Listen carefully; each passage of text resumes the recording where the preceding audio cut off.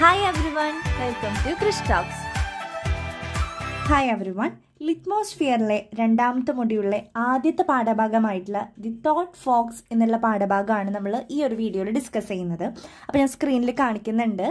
നോട്ട്സും കാര്യങ്ങളൊക്കെ. അപ്പോൾ നിങ്ങളതൊന്ന് ശ്രദ്ധിച്ച് നോക്കിയിട്ട് വീഡിയോ കാണാനായിട്ട് ശ്രമിക്കാം. നമ്മുടെ വീഡിയോയ്ക്ക് കിടക്കുന്നതിന് മുന്നേ ആരെങ്കിലും ചാനൽ സബ്സ്ക്രൈബ് ചെയ്യാത്തവരുണ്ടെങ്കിൽ സബ്സ്ക്രൈബ് ചെയ്യാൻ നിങ്ങൾക്ക് യൂസ്ഫുൾ ആണെന്ന് തോന്നുന്ന വെച്ചാൽ ഫ്രണ്ട്സിനൊക്കെ ഒന്ന് ഷെയർ ചെയ്ത് കൊടുക്കാം കേട്ടോ സോ നമുക്ക് പോയത്തിലേക്ക് കിടക്കാം. ഇതൊരു പോയമാണ് കേട്ടോ അപ്പോൾ ആദ്യം നമുക്ക് പോയറ്റിനെ കുറിച്ചൊന്ന് നോക്കാം. Edward James Hughes was an English poet and translator അദ്ദേഹം ഒരു ഇംഗ്ലീഷ് പോയറ്റാണ് ട്രാൻസ്ലേറ്റർ കൂടിയാണ്. He authored non fiction and children's literature too അദ്ദേഹം കൂടുതൽ എഴുതാറുള്ളത് നോൺ ഫിക്ഷൻ ആയിട്ടുള്ള അതായത് റിയലിസ്റ്റിക് ആയിട്ടുള്ള കാര്യങ്ങളും പിന്നെ കുട്ടികളുടെ ലിറ്ററേച്ചേഴ്സ് കാര്യങ്ങളൊക്കെയാണ് അദ്ദേഹം കൂടുതൽ എഴുതാറുള്ളത്. Hughes poem are marked by the dramatic and lyrical features അപ്പം അദ്ദേഹത്തിന്റെ കവിതകളിൽ കൂടുതലും ഈ ഡ്രമാറ്റിക് ആയിട്ടുള്ള അല്ലെങ്കിൽ ലിറിക്കൽ ഫീച്ചേഴ്സൊക്കെ ഉൾക്കൊള്ളുന്ന കവിതകളാണ് കൂടുതലും. Nature and animal play a major role in his work and mythical framework add mystery and awe to the characters and images used in his poem അതായത് അദ്ദേഹത്തിന്റെ കവിതകളിൽ അദ്ദേഹത്തിന്റെ വർക്കുകളിലൊക്കെ തന്നെ മൃഗങ്ങളെക്കുറിച്ചും പ്രകൃതിയെ കുറിച്ചൊക്കെ ഒരുപാട് പരാമർശിക്കാറുണ്ട്. ഇപ്പോൾ മൃഗങ്ങൾക്കൊക്കെ ഒരു വലിയൊരു റോൾ തന്നെ കൊടുത്തിട്ടാണ് അദ്ദേഹം വർക്കുകളൊക്കെ എഴുതാറുള്ളത്. അപ്പോൾ ഈ ഒരു കവിതയിലും നമ്മുടെ ടൈറ്റിൽ തന്നെ നോക്കിയാൽ നിങ്ങൾക്ക് കാണാൻ പറ്റും. ദി തോട്ട് ഫോക്സ് എന്നുള്ളതാണ്. അല്ല ഒരു കുറുക്കനെയാണ് കവി ഇതിൽ കൊണ്ടുവന്നിരിക്കുന്നത്. അപ്പോൾ ഇതേപോലെ ഒരുപാട് മൃഗങ്ങളെക്കുറിച്ചൊക്കെ അവർക്കൊക്കെ ഒരു മേജർ റോൾ തന്നെ കൊടുത്തിട്ട് കവി എഴുതാറുണ്ട് എന്നാണ് പറയുന്നത്. Okay then next the thought fox was first published in the year nineteen fifty seven collection of poems title the hawk in the rain ഈ ഇത്തരത്തിലുള്ളൊരു ടൈറ്റിലുള്ളൊരു ബുക്കിലെ ഒരു പോയാണ് ദി തോട്ട് ഫോക്സ് എന്ന് പറയുന്നത് കേട്ടോ ഇനി നമുക്ക് പാഠഭാഗത്തിനെ കുറിച്ച് ചെറിയൊരു ഇൻട്രൊഡക്ഷൻ ഇവിടെ കൊടുത്തിട്ടുണ്ട്. Thought fox is perhaps the most famous poem of Ted Hughes നമ്മുടെ ഈ ഒരു റൈറ്ററിന്റെ പോയിറ്റിന്റെ ഏറ്റവും ഫേമസ് ആയിട്ടുള്ള ഒരു പോയമാണ് തോട്ട് ഫോക്സ് എന്ന് പറയുന്നത്. It deals with poetic inspiration and creativity ഇതിൽ ഒരുപാട് ക്രിയേറ്റിവിറ്റി ആയിട്ട് കവി എഴുതിയിരിക്കുന്നത് നമുക്ക് കാണാൻ സാധിക്കും.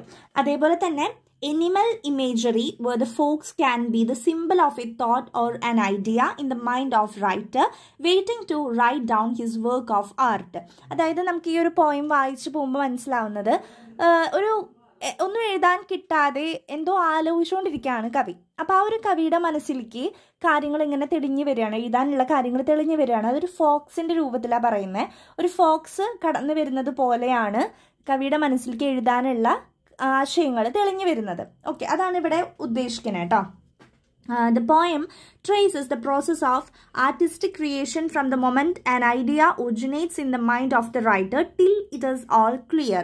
അപ്പോൾ ഇതിലൂടെ നമുക്ക് കാണാൻ സാധിക്കുന്നത് ഒരു ഐഡിയയും ഇല്ലാതിരിക്കുന്ന ഒരു സിറ്റുവേഷൻ അതിൽ നിന്ന് ഐഡിയ ജനറേറ്റ് ചെയ്ത് അദ്ദേഹത്തിന്റെ മൈൻഡിലോട്ട് വരികയാണ്. എഴുതാനുള്ള കാര്യങ്ങൾ മൈൻഡിൽ ജനറേറ്റ് ചെയ്ത് വരുന്നു. അതിനുശേഷം അതൊരു ഒരു വർക്കായിട്ട് ലാസ്റ്റ് അവസാനിക്കുന്നു. അതായത് കംപ്ലീറ്റ് ചെയ്ത് തീർക്കുന്നു. ഇതാണ് നമുക്കിതിൽ കാണാൻ സാധിക്കുന്ന ഒരു process organized and uh, written down on a piece of paper. The fox is simultaneously real and imaginary. Real ആയിട്ട് ഇമേജിനറി ആയിട്ടും ഇതിൽ കടന്നു വരുന്ന ആളാണ് ഫോക്സ് എന്ന് പറയുന്നത് literal and symbolic in this poem the forest darkness and the stars represent the mindscape of the artist were the uh, where he detects the presence of some other being than the lonely self of the poet. അപ്പോൾ ഇതിൽ Fox കൂടാതെ ഡാർക്ക്നെസ്സും forest stars ഇങ്ങനെ കുറച്ച് terms കൂടി കവി കൊണ്ടുവന്നിട്ടുണ്ട്. ഇത് കവി ഒറ്റയ്ക്കല്ല കൂടെ കുറച്ച് പേരും കൂടി ഉണ്ട് എന്ന് തെളിയിക്കുന്ന രീതിയിലാണ് കൊണ്ടുവന്നിട്ടുള്ളത്. ദെൻ ഇനി നമ്മൾ ലാസ്റ്റ് ലൈനിലോട്ട് നോക്കുമ്പം the poem thought fox is a modern poem narrated in the first person point of view and is divided into six stanzas of four lines each അപ്പം ഈ ഒരു പോയം എന്ന് പറയുന്നത് ഒരു മോഡേൺ പോയമാണ് ഫസ്റ്റ് പേഴ്സൺ പോയിന്റ് ഓഫ് വ്യൂലാണ് അതായത് ഐ മീ മൈ സെൽഫ് എന്നൊക്കെ പറഞ്ഞിട്ടാണ് ഈ ഒരു പോയം എഴുതിയിരിക്കുന്നത്. നാല് വരികൾ വീതമുള്ള ആറ് സ്റ്റാൻസാണ് ഈ ഒരു കവിതയിലുള്ളത്. അപ്പോൾ ഇത്രയും കാര്യങ്ങൾ നിങ്ങൾ മനസ്സിലാക്കുക. സിമ്പിൾ ഒരു കവിതയാണ് സിമ്പിൾ ലാംഗ്വേജിലാണ് എഴുതിയിരിക്കുന്നത്. അപ്പോൾ നമുക്ക് കവിതയിലോട്ട് നോക്കാം കേട്ടോ. നിങ്ങൾക്ക് കൂടുതലായിട്ട് മനസ്സിലാവും. നമുക്ക് ഓരോ സ്റ്റാൻസ് ആയി നോക്കാം. I imagine this midnight moment's forest something else is alive beside the clocks loneliness and this blank page where my fingers move അതായത് ഇവിടെ ഫോറസ്റ്റ് എന്ന് പറഞ്ഞ ടേം നിങ്ങൾക്ക് കാണാം. അത് അദ്ദേഹത്തിന്റെ മൈൻഡായിട്ടാണ് അദ്ദേഹം ഇവിടെ പറഞ്ഞിരിക്കുന്നത്. അതായത് ഒരുപാട് ഇരുട്ടുള്ള ഒരു ഫോറസ്റ്റിലാണ് താനിപ്പോൾ എന്ന് കവി ആലോചിക്കുകയാണ്. അതായത് മിഡ് നൈറ്റ് രാത്രിയാണ് പാതിരാത്രി സമയമാണ് ഒരു ഫോറസ്റ്റിലാണ് എന്ന് കവി ഇപ്പോൾ ആലോചിക്കുകയാണ്. അപ്പം ഇവിടെ എന്തോ something else is alive ഇവിടെ വേറെ എന്തോ ജീവിച്ചിരിക്കുന്നുണ്ട്. അല്ലെങ്കിൽ ജീവനുള്ള എന്തോ ഒരു വസ്തു ഇവിടെ ഉണ്ട് എന്നുള്ളത് പറയാണ്. ബിസൈഡ് ദ ക്ലോക്സ് ലോൺലിനെസ് അതായത് ഇങ്ങനെ എന്താ പറയുക നിശബ്ദമായിട്ടിരിക്കുന്ന സമയത്ത് ക്ലോക്കിന്റെ ടിക് ടിക് ടിക് സൗണ്ട് നമുക്ക് കേൾക്കാൻ പറ്റും അല്ലേ? അപ്പം ആ ഒരു ക്ലോക്കിന്റെ സൗണ്ട് അല്ലാതെ മറ്റെന്തോ സംഭവം ഇവിടെ ഉണ്ട് എന്ന് കവി പറയാണ്. And this blank page where my fingers move അതായത് ഇപ്പോൾ ബ്ലാങ്ക് ആയിട്ടിരിക്കുന്ന ഒരു പേജാണ് ഇവിടെ ഉള്ളത്. കവി ഒന്നും എഴുതി തുടങ്ങിയിട്ടില്ല. ബ്ലാങ്ക് പേജാണ് അപ്പോൾ ഒന്നും എഴുതിയിട്ടില്ലാത്ത ആ ഒരു ബ്ലാങ്ക് പേജിൽ വെറുതെ കവി ഇങ്ങനെ വിരൽ ഓടിക്കുകയാണ് ചെയ്യുന്നത്. ഓക്കെ അപ്പോൾ ഒന്നും എഴുതാൻ കിട്ടാതെ ഇരിക്കുന്ന ആ ഒരു സിറ്റുവേഷനാണ് ഇവിടെ പറയുന്നത്. ഫോറസ്റ്റ് അദ്ദേഹത്തിന്റെ മൈൻഡായിട്ടാണ് ഇവിടെ കാണിച്ചിരിക്കുന്നത്. ഇനി നെക്സ്റ്റ് പറയുന്നത് നെക്സ്റ്റ് സ്റ്റാൻസ് നോക്കാം. Through the window I see no star something more near though deeper within darkness is entering the loneliness അദ്ദേഹം പറയാണ് വിൻഡോയിൽ കൂടെ നോക്കുമ്പോൾ എനിക്ക് ഒരു സ്റ്റാറിനെയും കാണാൻ സാധിക്കുന്നില്ല. അതായത് അതായത് അദ്ദേഹം ആലോചിക്കുമ്പോൾ അദ്ദേഹത്തിന് ഒരു കാര്യങ്ങളും മനസ്സിലേക്ക് തെളിഞ്ഞു വരുന്നില്ല എന്നാവാം ഉദ്ദേശിക്കുന്നുണ്ടാവുക. അപ്പോൾ ഒരു സ്റ്റാറിനെയും എനിക്ക് കാണാൻ സാധിക്കുന്നില്ല. പക്ഷേ എന്തോ അവിടെ അടുത്തേക്ക് ഇങ്ങനെ വരുന്ന പോലെ തോന്നുന്ന തോന്നുകയാണ് നമ്മുടെ കവിക്ക്. ഡീപ്പർ വിത്തിൻ ഡാർക്ക്നെസ് ആ ഒരു ഇരുട്ടിലൂടെ എന്തോ ഇങ്ങനെ അടുത്തോട്ട് നീങ്ങി നീങ്ങി വരുന്നുണ്ട്. Okay is entering the loneliness ഈ ഒരു ഒറ്റപ്പെടലുള്ള ഈ ഒരു അവസ്ഥയിലേക്ക് എന്തോ ഒന്നിങ്ങനെ അടുത്തോട്ട് നീങ്ങി വരുന്നതായിട്ട് കയറി വരുന്നതായിട്ട് തോന്നുകയാണ് ചെയ്യുന്നത്. പക്ഷെ എന്താണെന്ന് കവിക്ക് ക്ലിയർ ആയിട്ട് കാണാൻ പറ്റുന്നില്ല കേട്ടോ. അടുത്ത stanza cold delicately as the dark snow a fox's nose touches twig leaf two eyes serve a moment that now and again now and now and now. അതായത് കുറുക്കന്റെ മൂക്കിനെ കുറിച്ചാണ് ഇവിടെ പറഞ്ഞത്. അപ്പോൾ ഇവിടേക്കാണ് കുറുക്കൻ വരുന്നത് കേട്ടോ അപ്പോൾ കുറുക്കന്റെ മൂക്കിനെ കുറിച്ച് പറയുന്നുണ്ട്. അത് തണുത്ത് ഇരുണ്ട് വളരെ സോഫ്റ്റ് ആയിട്ടിരിക്കുന്ന മൂക്കുകളാണ്. അത് എന്താ ട്വിങ് ലീഫ് എന്ന് പറയുമ്പം ഇങ്ങനെ ഇലകൾ ഒരുതരം ഇലകളിലും ഇങ്ങനെ ചെടികളിലൊക്കെ തട്ടി തട്ട് ഇങ്ങനെ ഇവരൊക്കെ ഇങ്ങനെ സ്മെൽ ചെയ്ത് സ്മെൽ ചെയ്ത് നടക്കണ പോലെയല്ലേ നടക്കുക കുറുക്കനൊക്കെ. അപ്പം അങ്ങനെ ഇലയിലൊക്കെ തട്ടി തട്ടി അതിന്റെ മൂക്ക് കാണാൻ സാധിക്കുന്നുണ്ട്. അതേപോലെ തന്നെ എന്താണ് ടു ഐസ് അല്ലെ? നല്ല രണ്ട് കണ്ണുകളും നമ്മുടെ കവിക്ക് കാണാൻ സാധിക്കുകയാണ്. അപ്പം ഇത്രയും നേരം നോക്കിയപ്പോൾ എന്തോ ജീവനുള്ളൊരു എണ്ണ ഇവിടെ ഉണ്ട് എന്നാണ് കവി ആദ്യം പറഞ്ഞത്. പിന്നെ പറഞ്ഞു എന്തോ ഒന്ന് അടുത്ത് ഈ ഒരു ഇരുട്ടിലൂടെ എന്തോ ഒന്ന് അടുത്തേക്ക് ഇങ്ങനെ നീങ്ങി നീങ്ങി വരുന്നുണ്ട് എന്ന് കവി പറഞ്ഞു.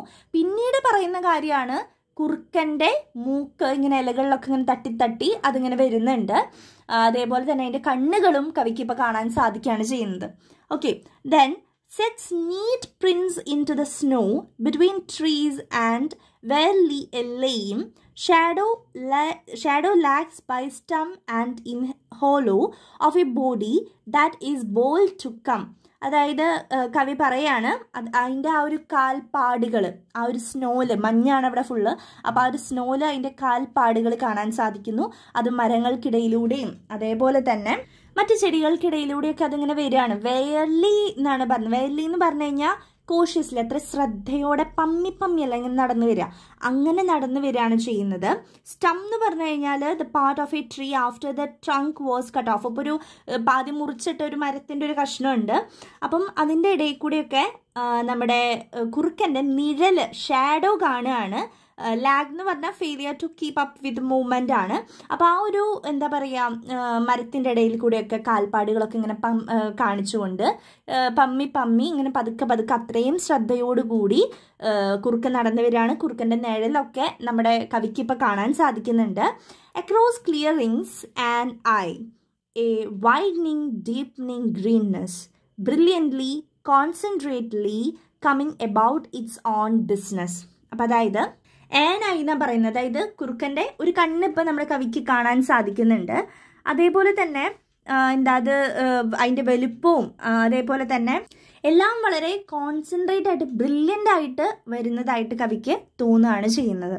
Okay till with a sudden sharp hot stink of fox it enters the dark hole of the head അങ്ങനെ ഇതെന്ത് ചെയ്യുന്നു ആ ഒരു കുറുക്കന്റെ ആ ഒരു സ്മെല്ല് ഹോട്ട് സ്റ്റിങ്ക് എന്ന് പറഞ്ഞു കഴിഞ്ഞാൽ സ്ട്രോങ് അൺപ്ലസന്റ് സ്മെല്ലാണ് അപ്പോൾ ആ ഒരു കുറുക്കൻ അടുത്തെത്തി അടുത്തെത്തുമ്പോഴാണല്ലോ നമുക്ക് സ്മെല്ല് ചെയ്യാൻ പറ്റുക. അങ്ങനെ കുറുക്കൻ അടുത്തെത്തി അടുത്തെത്തി അത് തലയുടെ ഉള്ളിലോട്ട് കയറാണ് ചെയ്യുന്നത്. അപ്പോൾ ഈ കുറുക്കൻ എന്ന് പറയുന്നത് അദ്ദേഹം ചിന്തിക്കുന്ന കാര്യങ്ങളാണ്. മനസ്സിലായോ? അപ്പോൾ ആദ്യം കവിക്ക് ചിന്തിച്ചിട്ടൊന്നും വരുന്നുണ്ടായിരുന്നില്ല. അതാണ് പറഞ്ഞേ ഒന്നും കാണാനില്ല. പക്ഷേ എന്തോ ഒന്ന് ഇവിടെ ഉണ്ട് എന്ന് കവി പറഞ്ഞു. അതായത് ചിന്തിക്കാനുള്ള കാര്യങ്ങൾ വരുന്നുണ്ട് പക്ഷെ മുഴുവനായിട്ട് കിട്ടുന്നില്ല. അത് കഴിഞ്ഞിട്ട് പിന്നെ കവി പറയുന്നത് എന്താണ്? എന്തോ ഒന്ന് അടുത്തേക്ക് വരുന്ന പോലെ തോന്നുന്നുണ്ട്. അതായത് എന്തെങ്കിലും ചിന്തിക്കുന്ന കാര്യങ്ങൾ മൈൻഡിലോട്ട് വരുന്നുണ്ടായിരിക്കാം. അത് കഴിഞ്ഞ് പിന്നെ പറയുന്നത് കുറുക്കനെ കണ്ടു എന്നുള്ള കണ്ണൊക്കെ കാണാൻ സാധിക്കുന്നുണ്ട് മൂക്കൊക്കെ കണ്ടു ഇലകളിലൊക്കെ തട്ടി വരുന്നത് കണ്ടു എന്നാണ് പറയുന്നത് അപ്പം അതിനർത്ഥം എന്തോ സംതിങ് ആയിട്ട് അദ്ദേഹത്തിന് കിട്ടുന്നുണ്ട് ചിന്തിച്ചിട്ട് കിട്ടുന്നുണ്ട്. പിന്നെ അതേപോലെ തന്നെ അത് അടുത്തോട്ട് ഇങ്ങനെ നീങ്ങി നീങ്ങി വരുന്നു നിഴൽ കാണാം എന്നൊക്കെ പറഞ്ഞു. അപ്പം അതിനർത്ഥം അത്യാവശ്യം അടുത്തേക്ക് എത്താറായിട്ടുണ്ട്. അപ്പോൾ എന്താ ഇതിലൂടെ മനസ്സിലാക്കേണ്ടത്? ചിന്തകളൊക്കെ കുറച്ചും കൂടി ക്ലിയർ ആയിട്ട് വന്നു തുടങ്ങി. ലാസ്റ്റാണ് സ്മെല്ല് വരെ കിട്ടുന്നത്. ഈ തൊട്ടടുത്തെത്തി. ദാറ്റ് മീൻസ് കൈക്ക് ചിന്തിക്കാൻ ചിന്തിക്കാൻ പറ്റിയ കാര്യങ്ങളൊക്കെ ഒരുവിധം അടുത്തോട്ട് എത്തി എന്നുള്ളതാണ്. അത് കഴിഞ്ഞിട്ട് പിന്നീട് ലാസ്റ്റ് പറയുന്ന കാര്യം തലയുടെ ഉള്ളിലേക്ക് അത് കയറി എന്നാണ്. കുറുക്കം കയറി എന്നാണ് പറയണേ.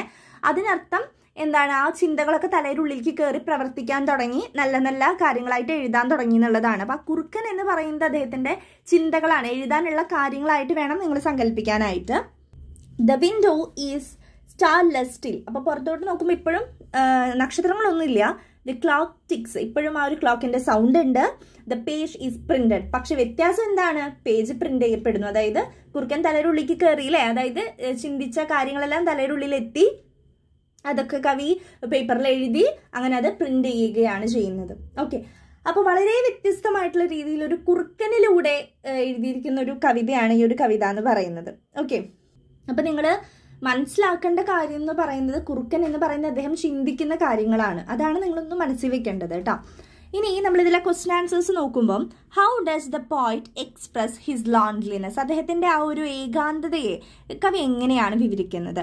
നമുക്ക് ആൻസർ നോക്കാം. The poet expresses his loneliness by saying that it is midnight and he's in the forest the forest here symbols as his mind with something a thought comes അപ്പൊ ഇതിൽ തന്നെ പറയുന്നുണ്ട് ഫോറസ്റ്റ് എന്ന് പറയുന്നത് അദ്ദേഹത്തിന്റെ മൈൻഡാണ് കേട്ടോ. അപ്പോൾ കാട് എപ്പോഴും എന്താ ഒരു മിഡ് നൈറ്റ് സമയം കൂടിയാണ്. അപ്പോൾ രാത്രി വളരെ ശാന്തമായിരിക്കുകയാണ് അല്ലേ? അപ്പോൾ അതിലൂടെ നമുക്ക് ആ ഒരു ഒറ്റപ്പെടലിന്റെ കാര്യമൊക്കെ നമുക്ക് മനസ്സിലാക്കാനായിട്ട് സാധിക്കുന്നുണ്ട്. രണ്ടാമത്തേത് comment on the images the speaker uses to express the time when he is alone and it is midnight അപ്പോൾ രാത്രിയാണ് പാതിരാത്രിയാണ് പിന്നെ ഒറ്റയ്ക്കാണ് എന്നൊക്കെ കാണിക്കാനായിട്ട് അദ്ദേഹം ഉപയോഗിച്ച ഇമേജസ് എന്തൊക്കെയാണ്? The speaker uses different images to express the time when he is alone and it is midnight he sees he can see no star അപ്പം സ്റ്റാർ കാണാൻ സാധിക്കുന്നില്ല എന്ന് പറയുന്നതൊക്കെ സ്റ്റാർ എപ്പോഴാ? രാത്രിയാണ് ഉണ്ടാവുക. അപ്പൊ അതിലൂടെ തന്നെ നമുക്ക് മിഡ് നൈറ്റ് ആണെന്ന് മനസ്സിലാക്കാം. പിന്നെ അതേപോലെ തന്നെ but something more near is entering the loneliness through it is quite dark and he can't see it clearly പിന്നെ അദ്ദേഹത്തിൽ പറയുന്നുണ്ട് കറക്റ്റായിട്ട് കാണുന്നില്ല. എന്തോ അടുത്തോട്ട് ഈ ഡാർക്ക്നെസ്സിലൂടെ നീങ്ങി വരുന്നുണ്ട് എന്നൊക്കെ പറയുന്നുണ്ട് അല്ലെ? അപ്പൊ അതിലൂടെയൊക്കെ നമുക്ക് അദ്ദേഹം ഒറ്റയ്ക്കാണ്. പാതിരാത്രിയാണ് സമയം എന്നുള്ളതൊക്കെ നമുക്ക് മനസ്സിലാക്കാവുന്നതേ ഉള്ളൂ. അടുത്ത ക്വസ്റ്റ്യൻ ആണ് do you think that forest here refers to the speaker's mind why അപ്പം ഇതിൽ ഫോറസ്റ്റ് എന്ന് പറയുന്നത് സ്പീക്കറിന്റെ മനസ്സാണ് എന്ന് നിങ്ങൾ ചിന്തിക്കുന്നുണ്ടോ? എന്തുകൊണ്ട്? അപ്പൊ ആൻസറിലോട്ട് വരുമ്പോൾ ഐ ഡു തിങ്ക് എന്ന് ആദ്യം തന്നെ പറയാം.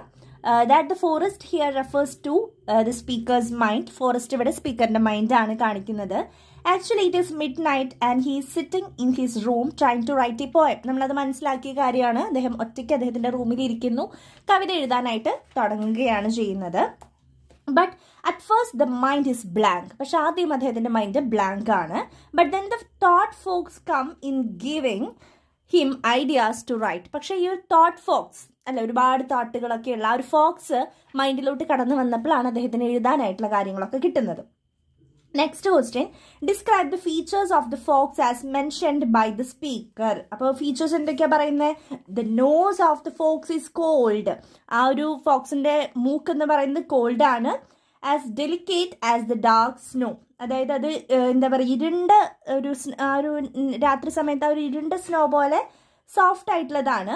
It touches a twig a leaf അതിങ്ങനെ മരച്ചിലയിലും ഇലയിലൊക്കെ ഇങ്ങനെ തൊടുന്നുണ്ട് അതിന്റെ മൂക്ക്. He can see two eyes of the fox moving ഇങ്ങനെ അടുത്തോട്ട് വരുന്ന മൂവ് ചെയ്ത് വരുന്ന രണ്ട് കണ്ണുകൾ കാണാൻ സാധിക്കുന്നുണ്ട്.